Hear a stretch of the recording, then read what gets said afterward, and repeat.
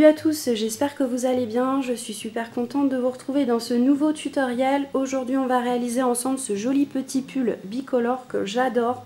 Euh, j'espère vraiment que l'ouvrage va vous plaire. Je vous fais tout de suite une petite présentation du matériel qui est disponible sur mon site crelia.com. N'hésitez pas à aller faire un tour, mais je vous mets les liens en description. Euh, pour cet ouvrage, j'ai utilisé donc de la laine 100% acrylique. Donc la gamme c'est Lana Donc c'est une acrylique certifiée Ecotex. Euh, donc ce sont des pelotes de 100 grammes. C'est vraiment une très bonne quantité. Euh, donc c'est 100 grammes pour 380 mètres. la laine se travaille avec un crochet de 2,5 ou des aiguilles 2,5 3 et c'est une acrylique qui est vraiment de très bonne qualité moi vraiment je vous la conseille euh, c'est une, acrylique que vraiment j'adore et elle est vraiment très très douce au toucher donc c'est vraiment agréable euh, à porter. Euh, pour l'ouvrage j'ai utilisé donc 400 grammes de laine donc en fait tout simplement j'ai pris 4 pelotes donc 2 en lilas et 2 en violet. Sachez que sur mon site il y a d'autres couleurs donc vous pouvez utiliser les couleurs que vous voulez. Euh, et, donc en fait moi j'ai doublé mon fil. Donc en fait pour la couleur euh, lilas donc j'ai pris deux pelotes. Et euh, pareil donc pour le violet deux pelotes. sachez que les 400 grammes sont totalement suffisantes pour une taille SM. voilà. Ensuite j'ai utilisé donc un crochet numéro 6 étant donné que j'ai doublé mon fil. Pour la petite finition donc les bordures j'ai pris un crochet numéro 3. Ensuite, on va avoir besoin d'une aiguille à laine pour la partie couture. Euh, sachez que vous pouvez euh, faire aussi donc, la couture avec le crochet si vous êtes plus à l'aise. Voilà, y pas, euh, ça n'a pas trop d'importance. en tout cas, bah, c'est good pour la petite présentation. On s'attarde pas, on passe tout de suite au tutoriel. C'est parti Ok donc c'est parti pour le tutoriel, donc euh, vous allez voir que cet ouvrage est vraiment super simple à faire, je pense que c'est euh, l'ouvrage le, plus simple que j'ai eu à réaliser, euh, donc, donc ça c'est plutôt cool.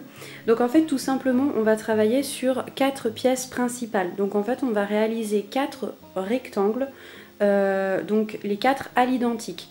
Donc on a les deux rectangles du bas donc, qui vont être le bustier. Et ensuite on a donc un rectangle ici euh, qui va donc être notre bras et l'épaule. Et là, on va faire donc la quatrième pièce ensemble qui va être donc de l'autre côté. Donc ces quatre rectangles, on va les assembler ensemble. Euh, comme vous pouvez le voir, en fait, les quatre, ce qui est plutôt cool, euh, les quatre rectangles sont totalement identiques. Vous voyez, donc ils font exactement la même taille. Donc en fait, on va, en fait, c'est au niveau de la pliure en fait. Donc vous voyez, euh, pour les bras, on va plier les rectangles sur la largeur. ici on a un bras. Et ensuite, le bustier, en fait, on va plier sur la longueur. Voilà, donc là on a nos deux, bustiers. Et ensuite on va assembler donc euh, le bras ici. Et on va faire donc le deuxième euh, le, quatrième, rectangle ensemble. Donc vous voyez, dans l'ensemble, c'est vraiment super simple. Maintenant, pour les mesures, donc je vais vous donner les petites indications. Ok, donc pour euh, les mesures, vous allez voir que c'est euh, super simple. On va avoir besoin donc de deux mesures. Donc pour déterminer la largeur de votre rectangle, vous allez mesurer la hauteur de votre bustier. Donc en fait, vous allez positionner votre mètre ici en haut de votre, juste un petit peu en haut de votre poitrine, donc ici, et vous allez mesurer donc toute cette hauteur. Une fois que vous avez cette mesure, vous allez avoir donc la euh, largeur de votre rectangle. Pour la longueur de votre rectangle, vous allez, vous allez mesurer donc votre tour de poitrine que vous allez ensuite diviser par deux. Donc moi j'ai un tour de poitrine d'environ 90 euh, cm, je le divise par deux, ça me fait donc 45 cm. Donc moi j'aurais besoin donc pour mon rectangle euh, d'une longueur de 45 cm. C'est tout. Une fois que vous avez ces deux mesures là, vous pouvez faire vos quatre pièces, donc vos quatre rectangles à l'identique. Vous ne prenez pas la tête. À savoir aussi, euh, donc là c'est des mesures euh, globales, donc on, c'est pas grave si c'est pas trop précis. Voilà, bon, par exemple pour moi ça peut être 43 ou 47. donc moi les mesures je les prends, donc c'est environ, environ 45 cm. On n'est pas obligé de faire quelque chose de trop trop précis. Euh, voilà, donc ça c'est pour les mesures. Vous pouvez donc ajuster l'ouvrage à votre taille. Donc maintenant c'est parti, on va, euh, je vais vous montrer comment euh, réaliser le point fantaisie qui est vraiment super, je l'adore. Et bah, c'est parti, on va réaliser donc le quatrième rectangle ensemble. Ok, donc c'est parti, on va pouvoir commencer donc le travail. Donc là, comme vous pouvez le voir, j'ai doublé mon fil. Donc là, on va faire un nœud de départ et une chaînette de mailles en l'air. Donc, euh, pour le point qu'on va réaliser, on a besoin d'un nombre de mailles en l'air multiple de 6 plus 1. Donc moi, pour euh, la largeur que j'ai besoin, je vais monter 49 mailles en l'air. Euh, pourquoi? Parce qu'en fait, on va travailler donc sur la largeur du rectangle. Vous voyez, là j'ai donc un, exemple, de, un rectangle. Donc en fait, on va travailler sur la largeur et donc pas sur la longueur. Et donc pour savoir en fait la largeur que vous allez avoir besoin, comme je vous ai dit précédemment, la largeur correspond à la hauteur euh, du bustier. Donc moi j'ai euh, une hauteur pour ma taille, j'ai besoin donc de 35 cm. Donc pour mes 35 cm, je vais monter une chaînette de 49 mailles en l'air. À savoir, attention, euh, le point rétrécit beaucoup. Euh, donc ma chaînette va être un petit peu plus longue que, 35, que les 35 cm parce que après le, point va rétrécir pas mal donc en, centimètres. Je crois que c'est à peu près 5 cm. Donc voilà, mais ce que je vous conseille c'est de faire un petit échantillon au départ, comme ça vous allez être calé. Voilà, donc c'est parti, je monte mes 49 mailles en l'air et je vous explique la suite. Ok, donc là j'ai mes 49 mailles en l'air. Je vais rajouter donc une maille en l'air pour une maille lisière et ensuite on va rajouter trois mailles en l'air pour euh, une première bride. Une, deux et trois. Donc là, je fais un jeté parce que je vais commencer mon rang avec une bride et je vais travailler ma première bride dans la cinquième maille en l'air de la chaînette. Donc je vais euh, sauter 4 mailles, donc 1, 2, 3, 4. Je vais dans la cinquième.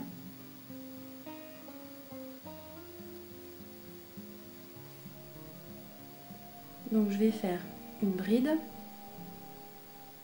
deux mailles en l'air. Et là, je vais faire une deuxième bride dans la même maille chaînette.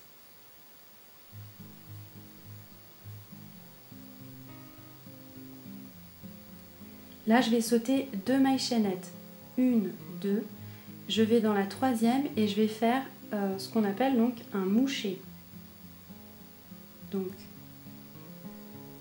j'attrape du fil, je tire sur mon fil une fois, deux fois, trois fois. Un jeté, je ferme toutes les boucles qu'il y a sur mon crochet et je ferme à nouveau. Donc là, je vais alterner donc ces deux points. Je saute deux mailles chaînettes, une, deux, je vais dans la troisième, une bride, deux mailles en l'air, une bride. Maintenant, je vais faire un moucher. Une, deux, 3, 1, 2 et 3. Je ferme et je ferme. Donc là, je vais faire comme ça tout le long de la chaînette. Ok, donc là, je suis à la fin de mon rang, donc il me reste 4 mailles en l'air. Donc là, je vais faire mon dernier point à la troisième maille euh, chaînettes. Donc 1, 2, 3. Une bride, deux mailles en l'air, une bride.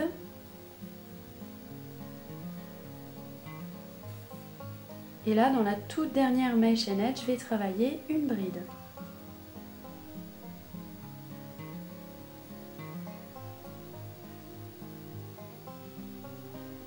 Donc maintenant, je vais passer au rang suivant. Je vais monter 3 mailles en l'air. Je tourne le travail. Donc là, dans cet espace-là, donc c'est un genre de petit V.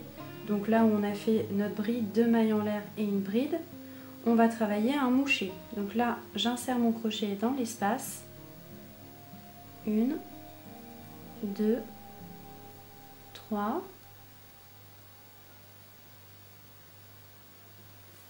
Et là, je vais faire donc mon petit V en haut du moucher du rang précédent.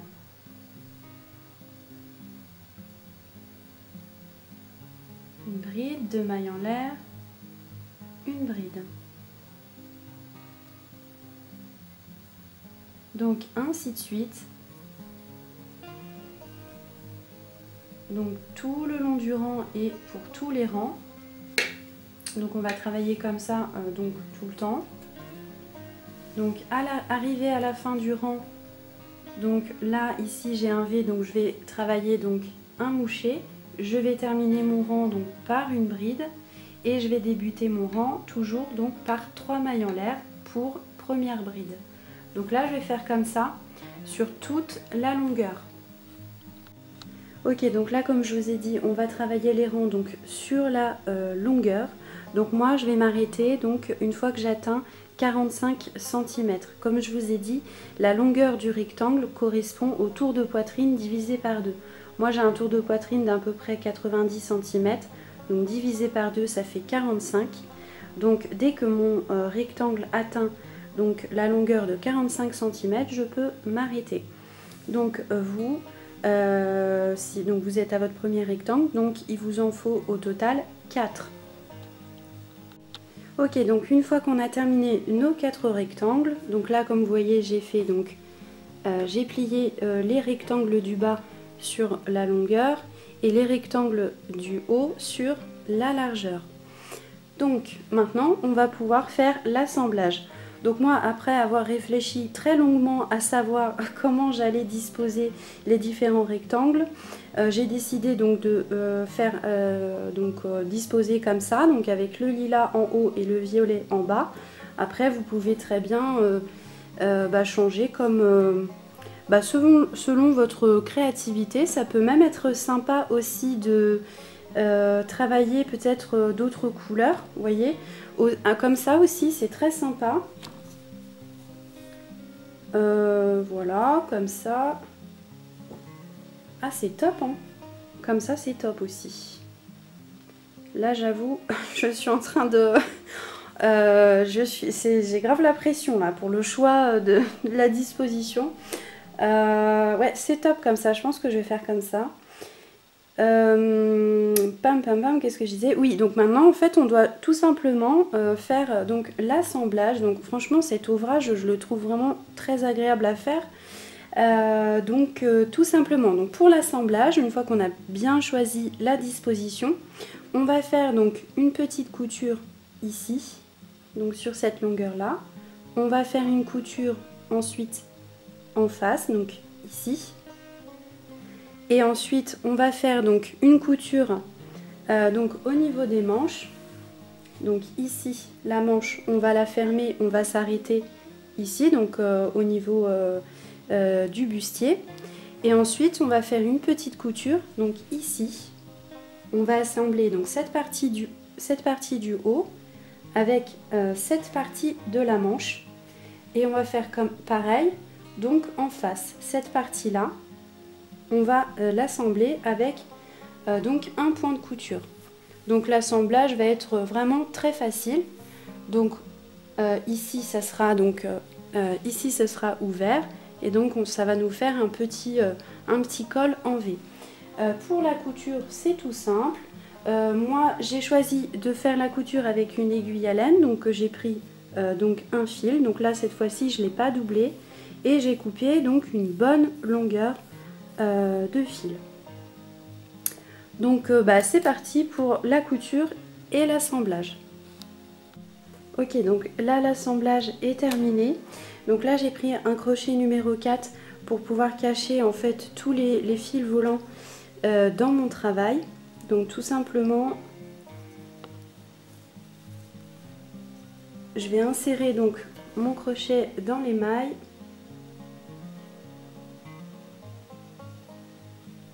Donc j'attrape mes fils volants. Et donc je vais les passer comme ça dans les mailles. Pour pouvoir donc euh, les cacher. Et ensuite je vais pouvoir donc couper mon fil. Donc je vais faire quelques petits allers-retours.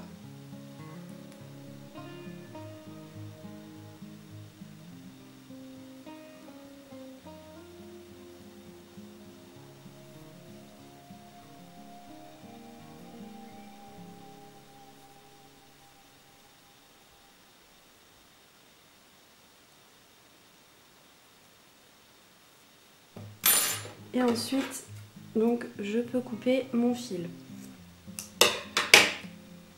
Donc là, je vais faire comme ça.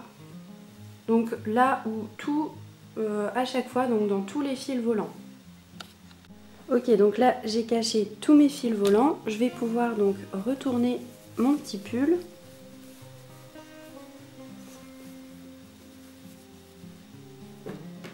Pour le mettre donc à l'endroit.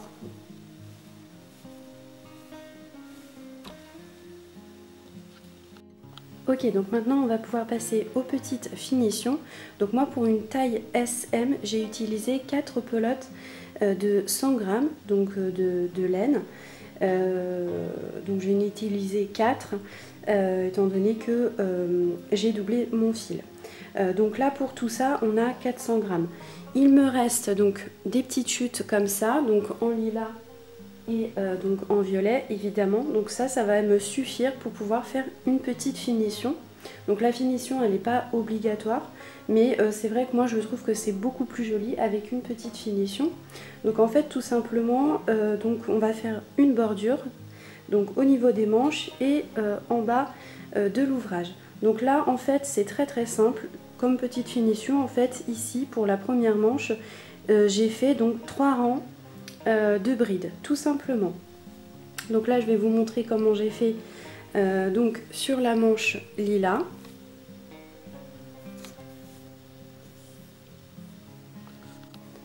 Ok, donc là, moi je vais me positionner ici, donc en bas de la manche, au niveau euh, de là où j'ai fait donc ma couture.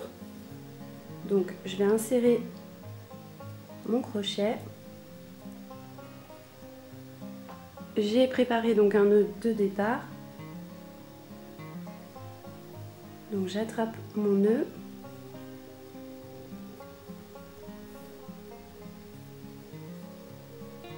Trois mailles en l'air.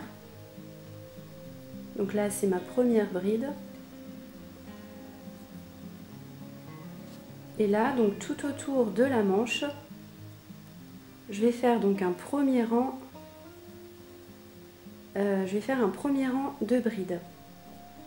Donc là, pour la bordure, je vais faire donc un total, euh, je vais faire un total de 3 rangs de brides.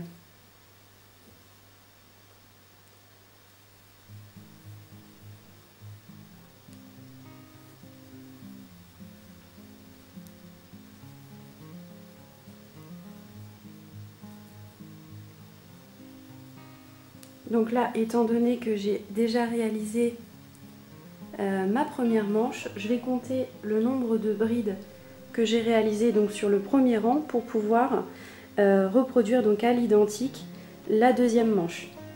Et évidemment, euh, j'ai pris un crochet numéro 3. Là, j'ai pas doublé mon fil comme vous pouvez le voir. Donc c'est vrai que la finition, je veux qu'elle soit un petit peu plus serrée.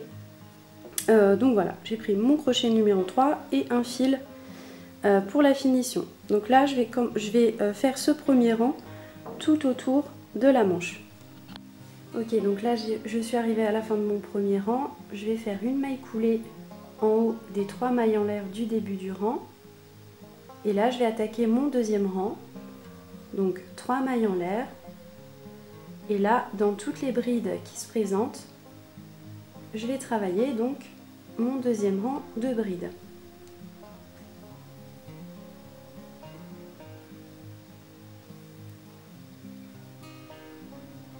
Donc là, je vais terminer ce deuxième rang Et ensuite, je vais en faire donc un troisième. Et je vais pouvoir donc couper mon fil. Ok, donc là, j'ai commencé la finition euh, donc en bas de l'ouvrage. Donc là, j'ai fait donc euh, là le, côté donc violet. Donc là, j'ai fait mon rang euh, de brides. Et je vais passer donc à l'autre côté. Donc je vais faire un changement de couleur.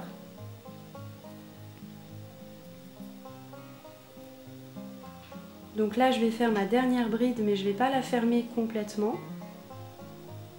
Je mets mon fil violet de côté. Donc je prends le nœud de départ de mon fil lilas.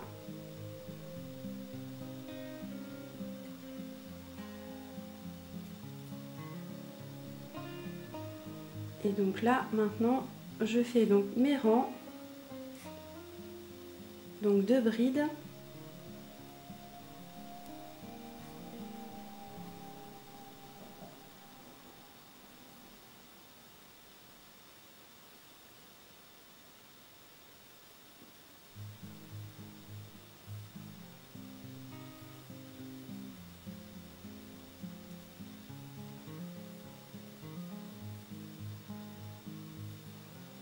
Donc là, je vais faire comme ça sur tout le côté euh, lilas.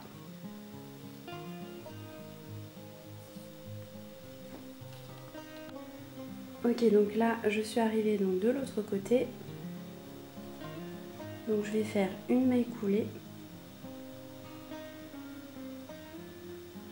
Une maille en l'air, je tire et je coupe mon fil.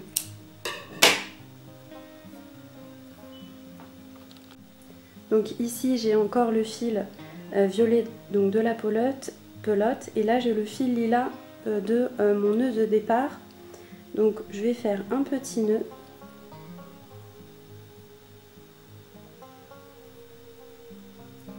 Et là je coupe mon fil.